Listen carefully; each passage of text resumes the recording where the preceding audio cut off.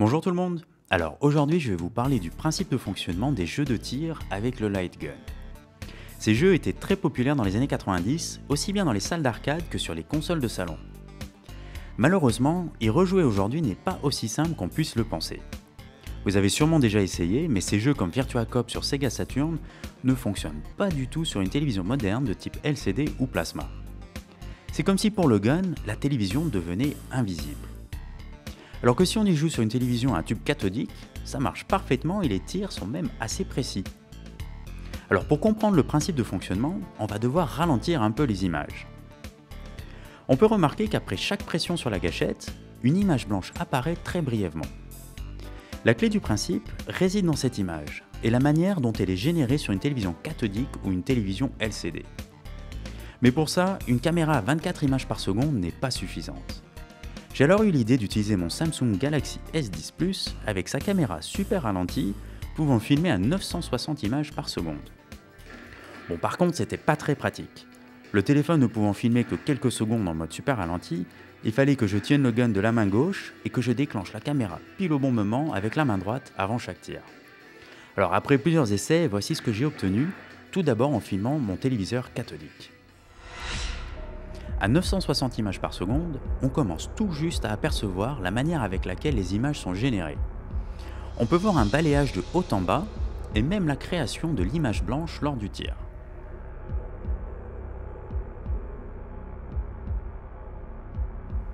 En fait, une télé cathodique utilise le phénomène de persistance rétinienne pour donner l'illusion d'une image complète. Derrière, un canon à électrons balaye la surface de l'écran qui est elle-même recouverte d'une matière phosphorescente, de gauche à droite, puis de haut en bas. Ça veut dire qu'à un moment donné, si on devait arrêter le temps, il n'y aurait en fait qu'un seul point lumineux sur l'écran. Mais le balayage se fait à une telle vitesse que l'œil humain, par le phénomène de persistance rétinienne, perçoit le tout comme une image complète. Alors, à 960 images par seconde, on ne voit que le balayage de haut en bas, mais impossible de distinguer le balayage de gauche à droite. Pour vous donner une idée de la vitesse, j'ai récupéré un extrait vidéo de la chaîne YouTube The Slow Mo Guys qui ont filmé une télévision cathodique avec une caméra pouvant aller jusqu'à 140 000 images par seconde. Et du coup, c'est seulement avec de tels équipements qu'on peut commencer à distinguer le balayage horizontal qui est à la base de la formation d'une image sur un téléviseur cathodique. C'est donc en partant de ce principe que les jeux de tir comme ceux sur Sega Saturn permettent de détecter la zone visée sur l'écran. Plus jeune, je pensais qu'il y avait un système ultra sophistiqué comme une caméra intégrée dans le gun, mais en fait c'est pas du tout le cas, c'est beaucoup plus simple que ça. Sur ce schéma, on peut voir que le gun est juste équipé d'une lentille à l'avant, permettant de concentrer la lumière venant d'une petite zone de l'écran vers un simple capteur photosensible dont le seul but est de détecter une augmentation de luminosité. Donc avec un autre schéma, je vais essayer de vous expliquer comment ça marche. On peut voir un light gun visant une petite zone d'un écran cathodique. Sur la droite, on a la vue depuis le capteur photosensible présent à l'intérieur du gun. Alors je vous rappelle que son seul but est de détecter une augmentation de luminosité et d'envoyer une impulsion électrique vers la console juste à ce moment-là. Dans ce cas, la zone visée ne présente aucune augmentation de luminosité, du coup aucune information n'est transmise. Nous allons maintenant appuyer sur la détente et voir ce qui se passe. C'est parti L'image blanche se forme par balayage et un chronomètre interne à la console démarre. Dès que le capteur détecte une augmentation de luminosité, c'est-à-dire au moment où le balayage passe par la zone visée, une information est envoyée vers la console et le chronomètre s'arrête. Tout ça se passe extrêmement rapidement, c'est de l'ordre du microseconde, mais vu que les informations captées et transmises voyagent à la vitesse de la lumière, tout ça devient possible. Du coup, Connaissant le temps et la vitesse de déplacement du balayage, il est possible de calculer la zone qui était visée au moment du tir. Dans notre cas, 3,86 de notre unité de temps pouvant être 10 microsecondes par exemple, correspond à notre zone visée.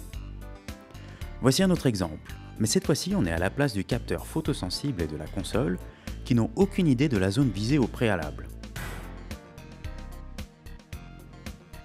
Cette fois-ci, 1,87 de notre même unité de temps correspond à une autre zone mais plus haute de l'écran. Maintenant qu'on a vu comment le light gun fonctionnait sur une télévision cathodique, il est temps d'essayer de comprendre pourquoi ça ne marche pas sur une télévision moderne de type LCD. Alors voyons tout de suite ce que j'ai pu capturer avec le mode super ralenti de mon téléphone. À 960 images par seconde, on remarque tout de suite une énorme différence. Il n'y a aucun balayage comme sur une télévision cathodique. En fait, sur les télévisions modernes, les images sont affichées d'un seul coup. Un microprocesseur intégré à la télévision reçoit le signal provenant de la console, le calcule et l'affiche en une seule image.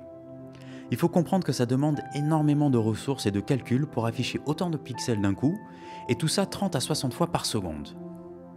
Du coup, le problème vient de là.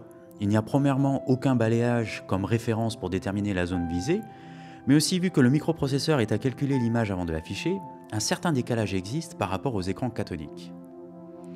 Comme on peut le voir sur ce schéma, pendant que la télévision cathodique affiche au fur et à mesure l'image grâce au balayage, le processeur de la télévision moderne doit attendre la réception de la totalité du signal avant de pouvoir le calculer et l'afficher d'un coup. Donc quoi qu'il arrive, une télévision moderne affichera toujours son image après la fin du balayage d'une télévision cathodique.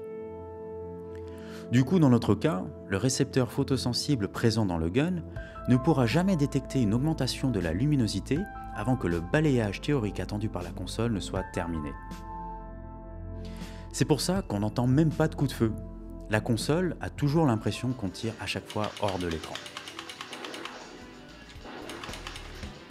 Voilà, vous savez maintenant comment fonctionnent les jeux de tir sur la Sega Saturn et pourquoi ça ne marche malheureusement pas sur une télévision moderne.